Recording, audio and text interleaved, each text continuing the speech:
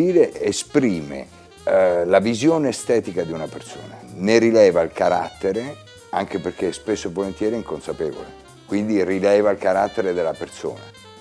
L'unico aspetto che posso riconoscere è di essere un po' eclettico, mi piace fare varie cose diverse, ho vari interessi diversi, che non combaciano fra di loro spesso. I miei figli hanno la priorità assoluta anche su me stesso. Il mio lavoro di imprenditore, sicuramente le donne il terzo, che spesso e volentieri può diventare il primo. La passione è quello che spinge a fare le cose, eh, superando e non fermandosi davanti alle difficoltà.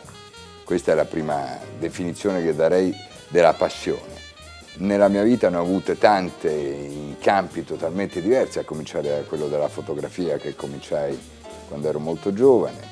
Tutto questo, forse la mia passione maggiore è il lavoro che faccio, l'imprenditore che, che mi piace molto fare, che lavoro nell'azienda di famiglia da 30 anni molto orgoglioso di essere italiano, trovo che l'italianità è fondamentale sostenerla, in particolar modo all'estero. Il carisma secondo me è totalmente naturale, è il modo di proporsi agli altri o per la intelligenza, per la creatività, per il modo di porsi anche dall'aspetto fisico, spesso e volentieri.